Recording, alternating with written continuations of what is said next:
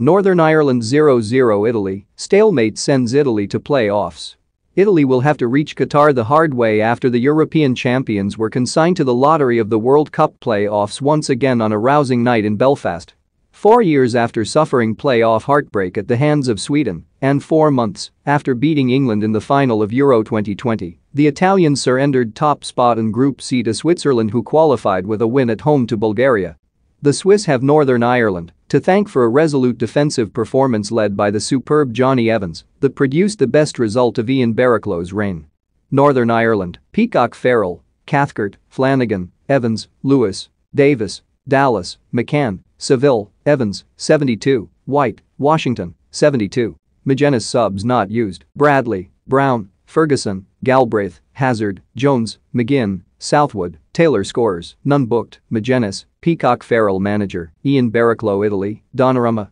Emerson, Scamacca, 80, Acerbi, Bonucci, Di Lorenzo, Barella, Belotti, 64, Jorginho, Locatelli, 69, Tonali, Cristante, 46, Chiesa, Berardi, Insigne, Bernardeschi, 68, subs not used, Cragno, Ferrari, Mancini, Meret, Pessina, Raspadori, Zappacosta scores, none booked, Tonali manager, Roberto Mancini Baraclough's side have not conceded a single goal in their four qualifiers at Windsor Park and succeeded in shutting out an injury-hit Italy to end their campaign on a high note. Roberto Mancini had spoken about anxiety among his players after a last-minute penalty miss had cost him a crucial victory over Switzerland on Friday, but frustration was the overriding emotion as they sought a way through. Italy's best chance arrived in the eighth minute when Lorenzo Insigne's sublime pass picked out Giovanni Di Lorenzo's run to the back post, but his effort was tipped away by Bailey Peacock Farrell who then dealt comfortably with efforts from Insigne, Nicolo Barella and Federico Chiesa.